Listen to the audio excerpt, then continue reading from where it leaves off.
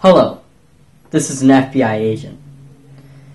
Today, I've uncovered one of the lost and hidden X-Files.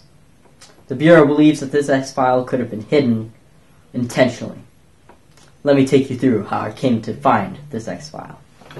First, I started at the UFO. Then I went to the missile base, then up to the Air Force General. And he led me to Batchild, which led me to another UFO, which led me to yet another UFO, which led me to base, which led me to none other than Bigfoot. And I tracked down Bigfoot. Bigfoot gave me a, that crumpled piece of paper.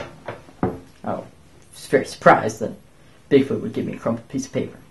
So I ran it through the FBI scanner. The scanner proved to me that was none other than Logan. Did some digging on Logan, I realized that there's an X file on Logan, and that really puzzled me. So I did some more digging, and I found out that he won that reality TV show.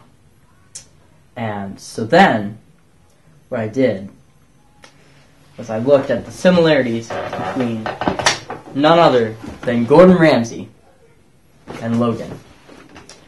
And I came to find this after a bunch more tests. Is that Logan is a clone of Gordon Ramsay. Now, why Gordon Ramsay would be cloned, I don't know. Could be aliens. All I know is that when I've dug through this case, all the leads that I have have landed in dead ends. Companies have shut me down. The Illuminati shut me down. The government has shut me down. The Bureau has shut me And if people are so willing to keep this case hidden, I don't know why. But all I'm looking for is the truth.